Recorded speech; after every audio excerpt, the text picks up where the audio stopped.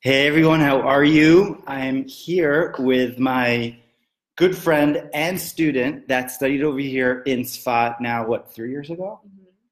Uh, Danna. She's going to introduce herself in a minute. Uh, but she didn't just learn in Sfat three years ago, she continues to learn in Sfat. Uh, she's actually a student of Live Kabbalah, uh, premium student. Mhm. And, um, and I have the honor over here to, uh, to talk to her a little bit about Kabbalah and past lives. So I'm going to pass the floor to Danna to kind of introduce herself a little bit. By the way, just quick intro from my side is that she is a TED uh, speaker and she's an author and she's a healer. Mhm. And so I'll let Danna take the floor and just introduce herself. Thank you. Well, it's super fun to be here, and it's super fun to be your student. So I'll just say it like that. Um, I'm a hypnotist, and I specialize in working with people with trauma and illness, and how trauma, basically, if it's unresolved emotions from our past, you know, memories, um, how it can create distress, physical distress in the body. So that's what I'm known for. I also do a lot of public speaking. Um, and I also do, which is not something I speak about a lot, but I do a lot of work with past lives, which is something we might get into here today. Yeah, I remember you asked me that like three years ago when you were first getting into uh, the healing profession and, that, and talking about past lives. How does that work? Is that allowed and whatnot?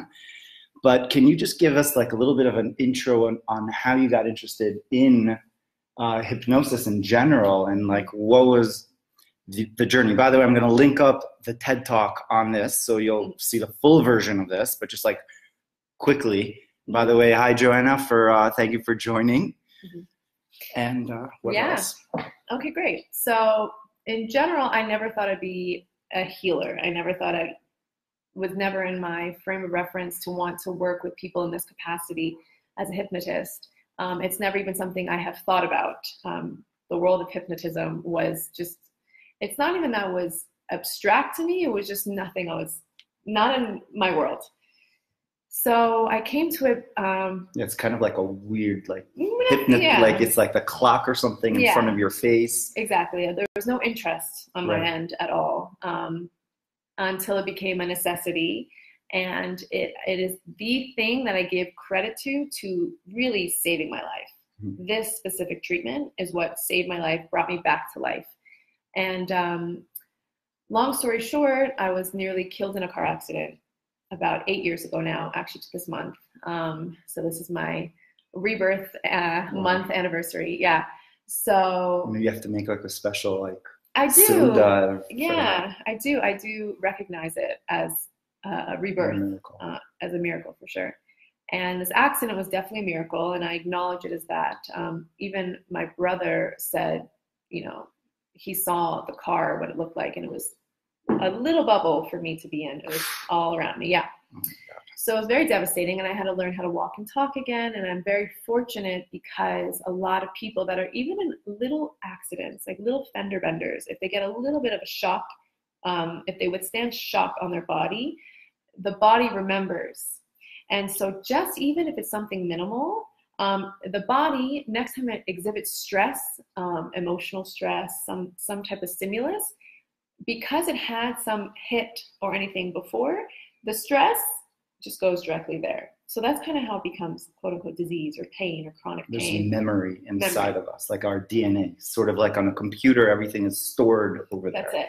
So our brain is just like a, a, a brilliant computer, um, and we don't really access it as we should. And we, my biggest, newest advocacy um, is that we all should learn ourselves how to be, how to process our own emotions, how to be our own healers, and even like to have five techniques in your toolbox to process your own emotions the moment they happen, which is my newest advocacy. But long story short, what happened was Why is that? If I could just say, like we react very quickly. We have an emotion. Like for example, like um, Danna and uh, her uh, and her future uh, fiance uh, got a little lost coming to us, and so I would, think like with with Waze not taking you, you're like stressed out a little bit, Mhm. but you took it super cool and relaxed, and just being able to just uh, Mhm. process that. Mhm. So not to get so freaked out, even though Mhm. like what's going on? Da, da, da. Like, how do we, Yeah. how do we do that? So there's a number of ways to do that, and it, it requires a little bit of discipline and a little bit of um, just knowledge of what to do. I mean, even just simply in that case, it could be a you take three breaths, you know, and you realize that it's not such a big deal. Being in the present moment, I think, is um, I think this might sound really uh, a little bit bold to say, but I, I Hey, think hey, Tammy, thank you for joining. Sri, how are you? hi everyone. Um, we're going to take questions, by the way, on this. So if you guys are uh, ready, uh, type type them in. Yeah. Okay. So I have a belief also that, um, and this might put me out of a job, but the need for treatments or therapy in the future might be, you know, put out of touch just because And if medicine. Mhm. if we learn how to process our own emotions, if we learn how to be our own healers, which there's you know a number of ways in which we can access our emotions, place them in the body. Where are they coming up? Um, what I like to do is I regress myself. You know, if I ever have a bit of sadness or anxiety, I take myself back to the origin of where it began, and you dissipate it. You dissipate the emotional charge from the beginning. So therefore, and for me now, I've been doing this, you know, six years now. Um, I can regress myself, and within ten minutes, I just like completely cleared Wow. everything that I've been feeling. Yeah, because um, emotions are energy in motion, what I like to call them. It's just um, the subconscious mind sending a signal. You know, if it's anxiety, maybe you're feeling threatened. If it's this, maybe you know you're feeling shut down. So that's a deeper technique, but there's many different techniques you can do on the spot in the moment. So anyway, to finish the the first part of the story was um, after my accident, I had PTSD. I had very severe trauma, and nothing worked for me therapy wise, just cognitive, you know, um, just you know, cognitive therapy and stuff like that. It didn't do much for me until I found a trauma therapist, and I didn't know that her specialty was hypnosis. Had I known, I probably would not have gone to her. It was a last resort. Yeah, I didn't know she did hypnosis, um, but someone recommended, to, told me that this woman saved her life. So I was on the brink of not being okay, and I found her, and she found me in the darkest moments, and she brought me up, um, literally through these techniques of just cleaning up, you know, the shock in my body, cleaning up the How trauma. long did it take? So my trauma was about a month and a half, like cleared my PTSD, um, and my Wow. depression was about two months, and then um, my anxieties were three months. And within that period of time, I became not only just functional as a human, but I started thriving again. I just went straight back into work, and yeah. So she took a broken little girl and, and brought me back to life. And it, it's um, healing doesn't have to be hard and doesn't have to take a long time. So that's the general Wow. gist of the beginning of the story. Wow. well, I could just say from from a from a Kabbalah kind of uh, view on this is that um, the the Arizal, who is buried not so far from here, lived over here in Sfat, wrote a book called the Eitz Chaim, the Tree of Life. Mhm. And why is it called the Eitz Chaim, the Tree of Life? Well, most philosophies, religions have this paradigm of the tree, but when we look at a tree, we don't see the majority of the tree. The majority of the tree, the most important part of the tree, in fact, is what is hidden. It's in the form of roots, which the roots are really the whole reason why the tr- the outcome of the of the bark, of the branches, of the leaves, of the fruit, etc., all happen. It's all because of those roots. So those roots come in many different forms. They come in forms of um, so, for example, that's why we can't judge others by different actions that they may take because we don't understand where their roots are really from. And according to the Arizal, we may have someone who's more on the right side, who's more chesed, who's more on the left side, who's more gevura, who's more kind, kindness, or more strict, or whatever. But then understanding the roots even on a deeper level, that it's our makeup, where we grew up, how um, uh, how we are more tended or wired to be. But then we go a step further and we go back to even what we call past lives, which the Arizal is showing uh, Danna and Shmuel this. Uh, they, they came to us for Shabbat. Uh, the book of Gilgulim, the book of reincarnations of the Arizal. He has a whole book kind of like detailing what are these past lives? And so there's a famous book, Brian Weiss, that wrote. Uh, he was he was a um, an atheist, I believe, a psychiatrist, didn't believe in God. But then in his work of hypnosis, it took him back to where it took him back to someone's past life, and he was like, "Whoops, what went on over here? Where are we going with this?" So did you have experience with past lives with with patients mm-hmm. and what was that like so i've done so many past lives now Whoa. yeah i do them quite often have you done your own yeah i've seen okay. like 15 of my own okay i'm not kidding yeah and it's funny because i she's also, seen 15 mm-hmm. of her past lives mm-hmm. I also grew oh, up in a secular family completely not spiritual and it's interesting i i i'm still um i'm still uh what's um the word. I'm hesitantly spiritual. You know, I, I am Hey Asher. Yes. So I I am spiritual because of things I've seen, and, and past lives is part of that experience where it's just beyond imagination. So a lot of people ask, well, maybe I'm making this up. You know, maybe you know I'm just kind of coming up with this stuff, but in reality, first of all, if it's real or if it's not real, okay, the treatment in of itself is separate. So just like you would go into childhood to get to the seed, the root of where you know sadness began, you do the same thing with past lives. Um, so generally speaking, when I do past lives, for example, if I'm working with someone with depression and every single angle of childhood and, and different uh, hypnotic techniques are not alleviating and not doing enough of the work, they're feeling a little bit better but not full in relief. It's interesting, but going into a past life sometimes sparks the feeling, you know? Wow. And yeah, it's the seed wow. of the seed. Meaning you could be with, you could be treating mm-hmm. someone mm-hmm. and there's no reaction, but all of a sudden you go back to mm-hmm. a past life and they're and like, that's where they find they're healing. like bawling. And you know, it's interesting because when I first started doing past lives, again, I was secular. I didn't really even care so much about spirituality. Now I'm a more spiritual person and now the work I do is more leaning towards that. But when I first started, it was just technical you know this technique works for this trauma this technique works for this type of you know weight loss or it was just math now it's like artistry and it's really you know creative and, and stuff like that um, so it's, it's actually a fun healing process wow. You know and people think healing has to be difficult and hard and and really gruesome and getting in there. And even if trauma comes up in hypnosis it's like you're watching a movie. You know you might see something that you don't that's why a lot of people are scared of hypnosis because they don't want to go and see something that is going to scare them or they kind of repress they don't want to go there. But in reality you see it like a bird and you go in and it's like you're not reliving it you're reviewing it.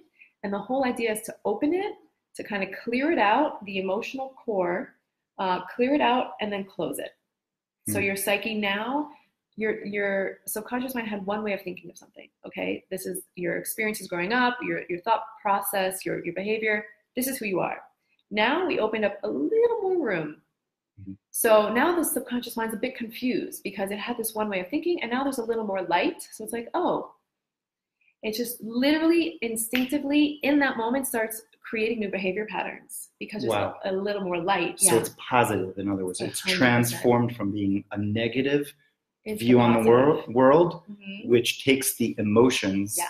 to kind of like viewing things and reacting to things in a certain way. Yes. Whereas if if we go back to the core, mm-hmm. to the root, so then everything trickles down and yeah. a person has a totally new way and they're basically a new person. New person each session.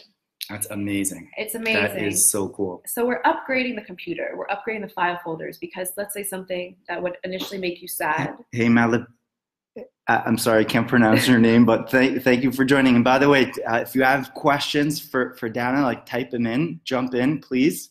Yes. Okay. Feel free, anything.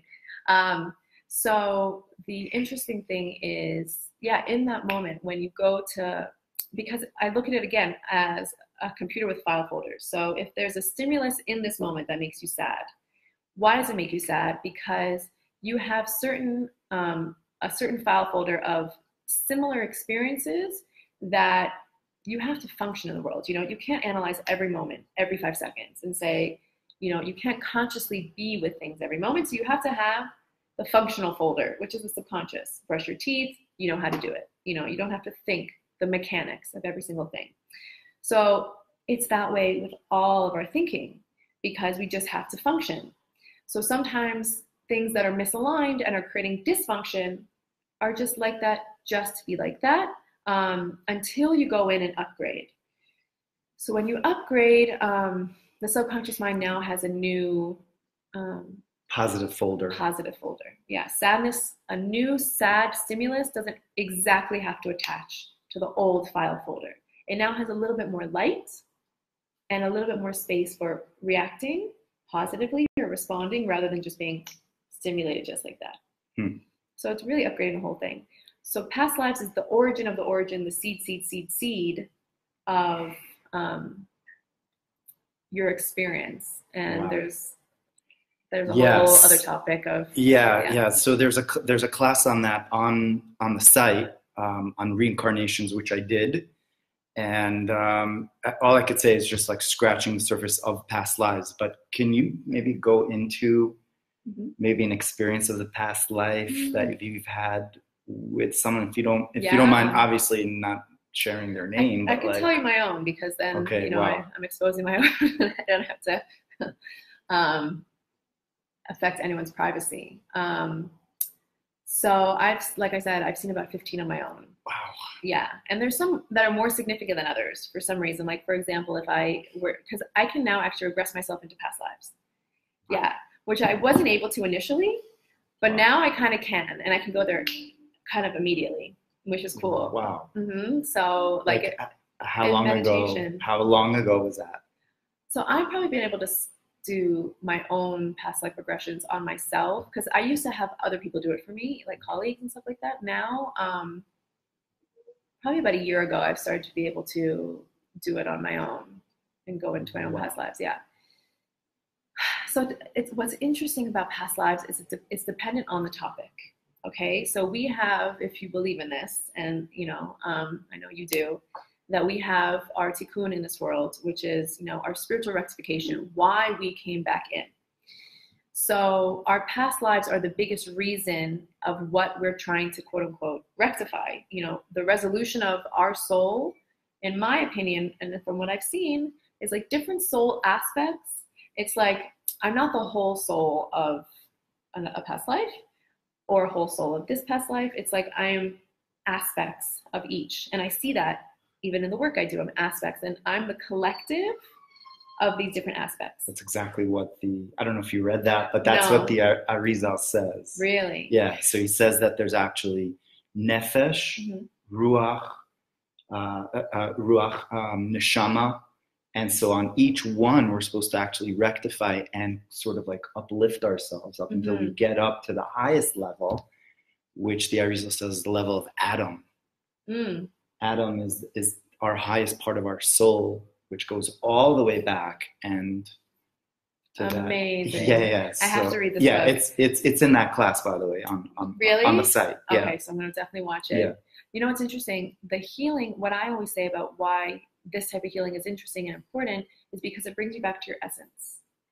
So that's why you heal because you come back to yourself, and that could be the Adam thing. Mm-hmm. You know, you come back to who you are without these filters of trauma or filters of the stories you built upon yourself that aren't you. It's amazing. Yeah, and so that's the healing. There was a uh, tzaddik called called the Chozeh of Lublin. Mm-hmm. That was a student of Rabbi Elimelech of Lezhensk. So after the great tzaddik Rabbi Elimelech passed on, mm-hmm. he left all of his virtues or powers, soul powers, to his students. So the Chozeh got the power of sight. So he was able to see. So they say that when he first got this power of sight, he saw someone and he saw him in this life and he saw him in the life before mm-hmm. the life before life before. He had the eyes to see that. And then he went like it's almost like a domino like going yeah. you see that mm-hmm. quickly. And then he went all the way back to where he saw aleph dalid mem adam. Wow. That's it. Because we are that. We are that. We are the generations. That is our seed. So adam is our seed. So oh my god i have to tell you something Okay, so I generally don't say all this stuff publicly because a lot of people think past lives is weird and, and, and, and even hypnosis is weird. And I'm also here to kind of break that because it's not weird. And our brains have the capacity to do brilliant, beautiful things, and we should access it.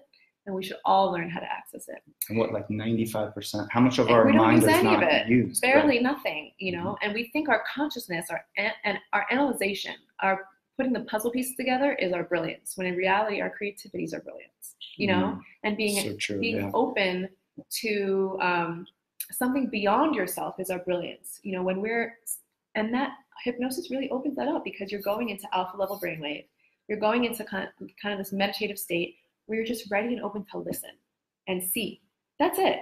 That's all it is. It's like a meditative state that allows you to recall memories and be more open to listen and see beyond your perspective.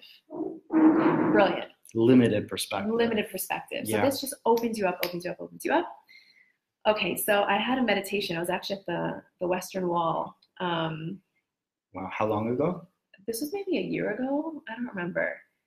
And s- now, because I used to go to the Western Wall and like I feel it, I cry and like I pray. But now I go to the Western Wall. It's a bit weird, but I have like these meditations.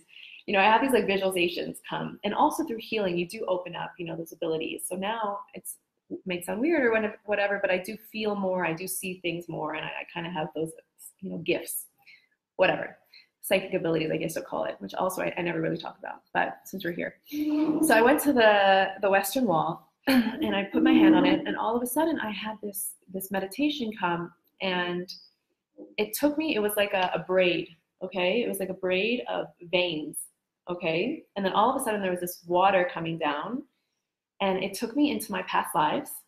Okay, and then all my ancestry, all the way, all the way, all the way down these like veins into Eve Whoa.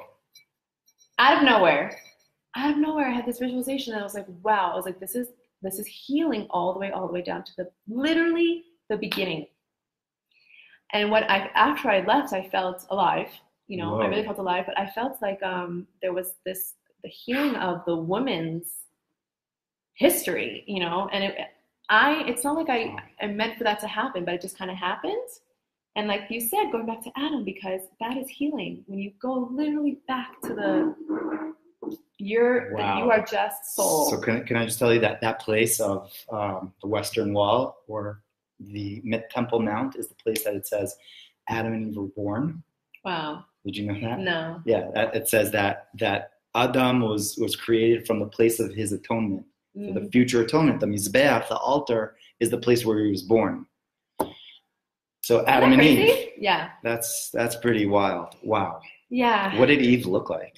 So I get it's just Eve. I don't know. You know. It, But you, it was more of a feeling, it was probably. knowing. It was yeah, a it was feeling. knowing. Yeah, but it was Wow. and it was literally within you know two minutes i just felt like this water going down and doing this clearing and, and cleansing of all female you know ancestry all the way down to eve and that's never happened to me before so that was really interesting and it's Wow. interesting that you said that that's it is all the way back so past life is your your history you know your Yeah. your history yeah i hope that's not too abstract for everyone Amazing. no, that that is like fascinating, and Yeah. and um, and so I, you know, it's interesting because the past lives are not things that we know about, and not we're not supposed to know about. It Mhm. says in Deuteronomy, it says, "Anistavot laHashem Elokeinu v'aniglot lanu," that things that are hidden are for God.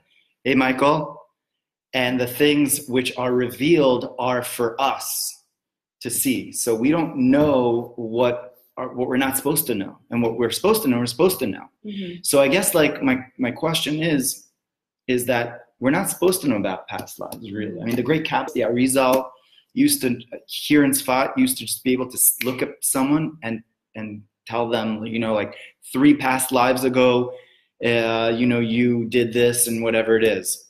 Mhm. And so he was able to do that in order to fix them.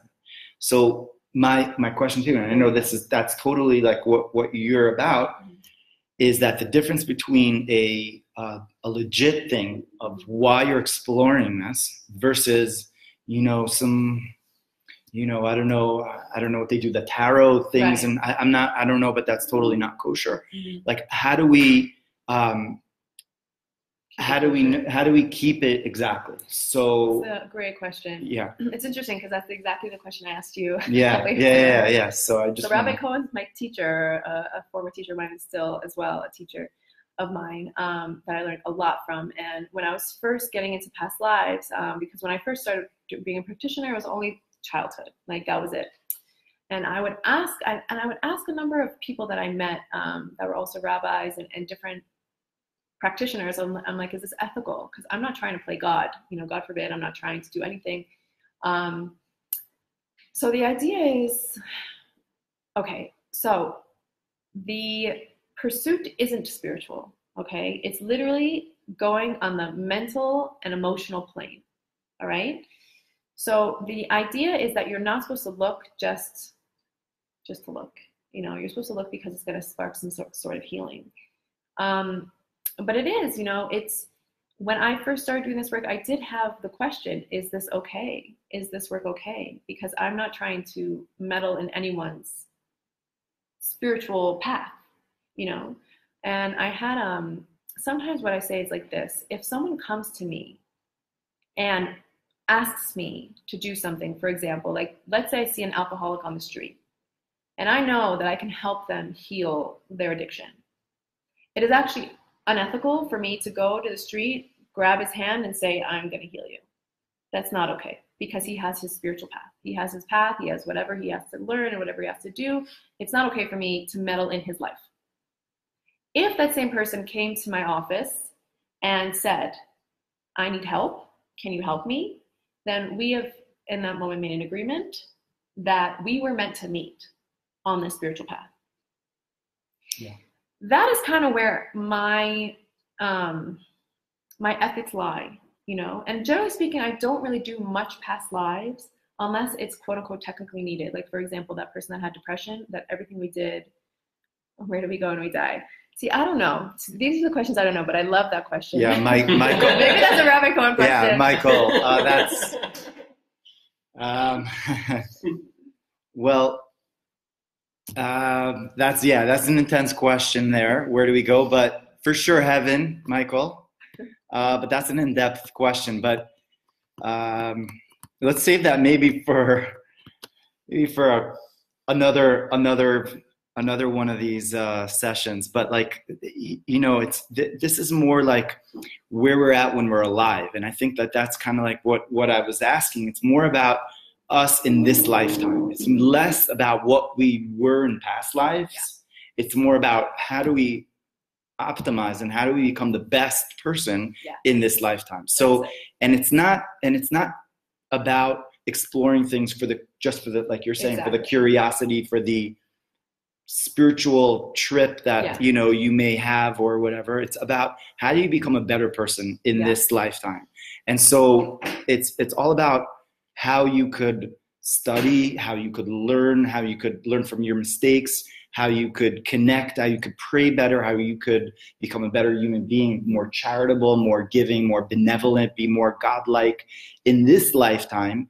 And sort of like it's not doesn't it doesn't matter what happened because what, what what happened happened and it's like what we have right now. Mm-hmm. So I guess if I could just maybe like you know reiterate what Dan was saying is like it's really about a healer. She's a healer that's kind of like helping people in this lifetime. Right. That this person agreed to have this um, connection, and uh, uh, sh- she wants to know too. Um, I, sh- I mean, would love to know. Yeah. Um, yeah. So I will mention one thing on that. What I see with past lives, which is interesting, where do we go when we die? His question. Um, um, what I see, which is interesting, and also just to summarize past lives, I'll only do it again. I won't do it for someone's spiritual trip. Yeah. Like if someone comes for curiosity, I tell yeah. them straight away, this is not what I do. Um, if there's something he, like a lot of physical elements as well, they come from past lives. Mm. So, and that's a whole other topic. Wow. Um, we probably have can go for hours on yeah, this. Yeah, yeah, yeah, for so sure. Maybe another time. But that being said, um, where, where could people find you? Um, yeah, they can find me on Facebook. They can find my website, um, which is dannapycher.com. D A N N A P Y C H E R.com. Um, I have a lot of lectures on YouTube as well. Danna Pycher, you can just you know look that up. Um, you know the typical social media, even though I'm not the best at you know keeping up with social media, but I'm around, um, and people can always email me and stuff like that. Um, so what I've seen when it comes to a past life treatment, just in general, when I see them go through the process, the healing component of past life. Like, why do we even do it? So we have lessons to learn in this life. And so the reason, the ultimate reason to even do a past life is to learn those lessons. So you Mm. have the idea of that. So what happens is in a past life, um, we actually, this might sound funny or a bit out there, but we go through the death process Yeah. and we go up to God. hmm And then you kind of hear or feel the messages. And in that moment, that's when your psyche can finally release it. And you don't have to continue those patterns because you finally learn the lesson. So the reason we have certain patterns in life is because we're going to do it and do it and do it until we learn the lesson. So this is learn the lesson, therefore you kind of upgrade your consciousness. That's really the only reason to do it. And that's why it has such an in, um, intent and potent healing. Wow. Yeah. Wow. So you go up, uh, from what I've seen, the people I work with, they do actually go up to God, they go up to Source, and it really feels like I, I told you I had a number of past lives. It actually feels, you feel elated. You Mm. really do When you When go you- back. when you pass on. Yeah. Mhm. I don't want to say like, listen, you know, a lot of this might sound very abstract and stuff. It's just things I've seen and things I've worked with in my own experiences. But it's it's a beautiful process. Um, and again, generally I do childhood because it's enough. Wow. Yeah. Fascinating stuff. wow. So, yeah. So here's just like a like they say like a little tidbit, uh, you know, on uh, on this. Um, maybe I mean maybe we'll kind of like do this again, maybe with a with more warning, kind of like and. Uh, Sure. and maybe see and talk more about the hypnosis level of it, of how, you know, How it actually works. how it actually works. Yeah. So, okay. So thank you so much, Michael. I I hope that set your set your mind at ease. Uh, um, yeah. So thank you guys so much for uh, for joining, and uh, wishing you many blessings. And uh, and uh, thank, Thank you, you so Danna, much. for being here Yeah, thank you. and regards and great vibes over here from Tzfat. And uh, and yeah, and we'll be in touch. Many blessings, guys. See you Bye. soon. Thank you.